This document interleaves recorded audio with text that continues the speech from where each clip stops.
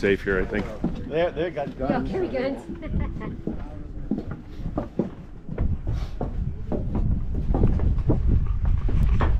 So you've seen inside at Dirty Dingus Magee, Tom Horn, Tombstone. Tom Horn is where he comes to get his meal. The kitchen was back there. Uh, he gets into a scuffle, an argument with a. Uh,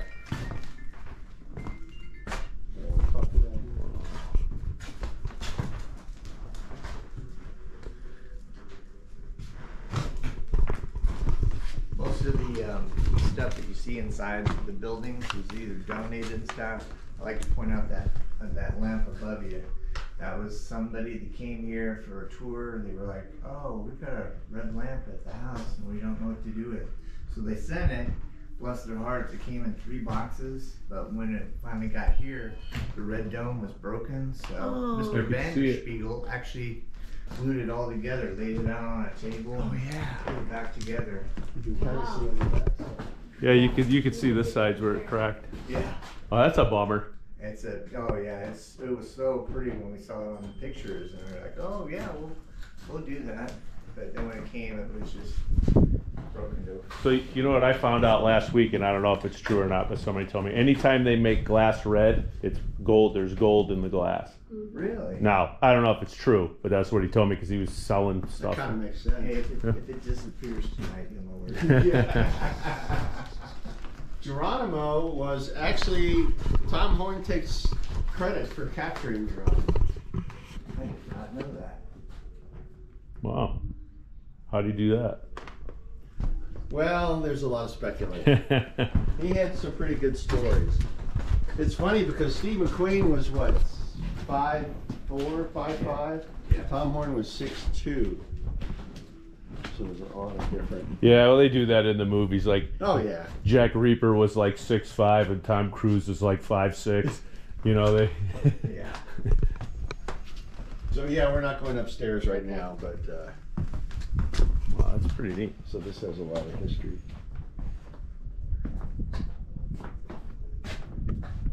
Upstairs we actually um, uh, an owl gave birth, and three of the owls. Uh, Tom Horn, through this, this end of the, this town, has a lot to do in the movie. And the building behind there, what's left of it, up until February, it was a two-story building. And then we had snow, Uh, Oh, so it collapsed. And since there's not much infrastructure to it, it, it collapsed. It's woke. Uh, they're still trying to decide what to do with it. Probably will go away at some point. Um, and then this building in the front was also part of the jail. It was a two-story building. So to complete what I was talking about, when Tom Horn's arrested, he was taken upstairs. He'd never really been in a jail cell before, so he asked the sheriff, Slim Pickens, "Don't sh- don't close the door until I get to the other side. I can look out the window." And you look out the window. It's supposed to be Wyoming in the winter or late fall. There should be snow up there. So they were arranging to make snow for the mountain in here. And the day, the night before they filmed, it snowed. oh, yeah. So it was It's quite a coincidence. yeah. uh, in Tombstone. You remember the last scene between uh, Doc Holliday and Wyatt? hmm And he's in In the their hospital? sanatorium Yeah. in Glenwood Springs. That was the inside of that building. Oh. It's also been a stage. Huh. Uh, it's been a theater. Uh, it's been a number of, of different things. When they decide, when the when the uh, Earps decide to leave Tombstone and they head out this way, Behan or Curly Bill, they're sitting on on there. This, is- this was a two-story building, and I think it was red maybe. Uh, and they stop, and that's where he, the famous line will back, Yeah. and they're out of town. Ah, right there. So if you happen to notice that you see the lights, the lights aren't on. Oh, yeah. There's no Thing building behind it. that. Yeah, Ah, no. I got see you. It's all a facade. Yeah. That's interesting. It's neat how they do that. Let's mosey on.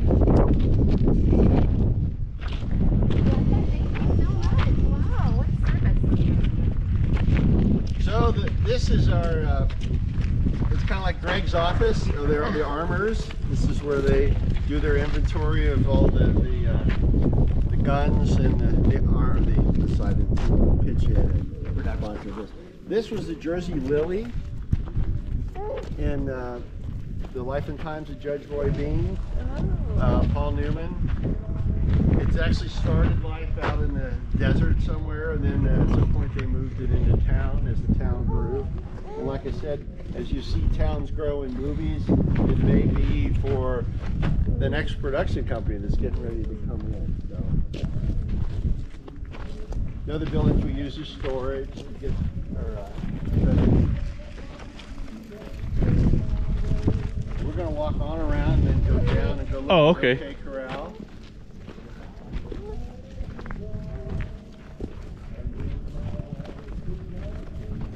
I'm not getting a whole lot of pictures, honey. It's okay. You guys remember the OK Corral sign that was out here? Yeah. That actually is a tombstone now. It's the original sign, and they have it in Hotel Tombstone. Ah. She has it up in the main room. You can go in there and take pictures in front of it. Oh, neat. But ours is on site. Well, that Hotel Tombstone, that's the one that's all the way to the south now, right? Right. Okay. Right across the street from Big uh, Birdcage Theater. Gotcha. Yeah, that's what I was thinking. So when the Earps come to head to the OK Corral because Behan or Behan stops them and says he disarmed the Clantons and which was not true. Um, and that was the beginning. So they walked down this street. Oh, There was okay. A, there was a building right here that burned. There was was a red building, and some kids came out and they went bang bang, and uh, it just helped build the tension of the story.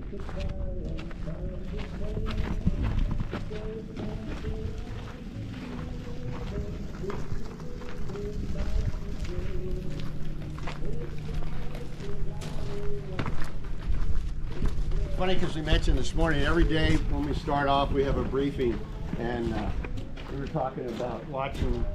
Uh, one of the other historians had watched Tombstone last night, and I would, but somebody had borrowed it. Um, but you, you know, every time you, you watch it 10, 15 times, you see something you didn't see the last time. It's all new. It's different. And like this area, these had, uh, with, for the OK Corral, there were loafing sheds on this side. Uh, there was more, and then actually, what the China China camp. China camp was out this way. Ah. So obviously not there today. And so did they put those adobes up for the movie Tombstone, or were they already here? Because they look, they aged them pretty well if they put them up for that. Some were here for another production for Tombstone, but the problem with them is the cows like to rub their butts on them, Oh. so it's taken them a lot of them down. Yeah, Gotcha. and you're welcome to give it a try. You got an itch, that's the place to go. yeah, because we hiked out. I mean, these look almost like the ones in the old town of Charleston. You know, we Oh yeah. Different color. different color, but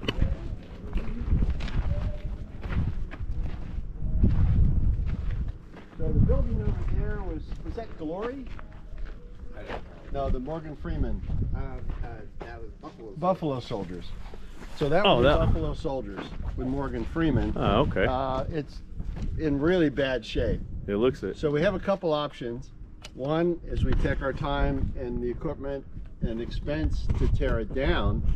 The other option is to get a production company to burn it or blow it up and pay us to take it down. So, Yeah. so we're working on version two. Yeah, Yeah. that's the way to go. But right here is where is where the is it happened. This is Fly's photo studio, and one thing that it took 34 seconds to, for the whole thing to happen. The whole OK shooting was 30 some seconds. Uh, it took three plus days to film it. One of the reasons is whenever they have you have glass in a movie set, it's it's sugar glass. So it's very easily breakable. So a bottle, a window, they break. Well, the problem is is they're filming in the desert in July. It's hot. Mm-hmm. Sugar glass and heat don't do well together. Mm.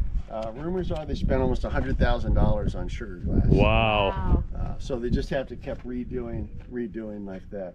So this is where they uh, was when the Clanton sh- stuck his hand through and started shooting with Behan's gun, and then uh, that's when Doc Holliday. First of all, he has three shots with a double barrel shotgun, and then his two six shooters. I don't know, 18, 19 rounds he shot without Yeah. re- so He's good. he was very good. Yeah. and a dead aim too. That's why he said, well, at one point he was real drunk, and they said, well, you can't hit me because because that's okay. I got two guns. I could shoot both of them. Yeah, right.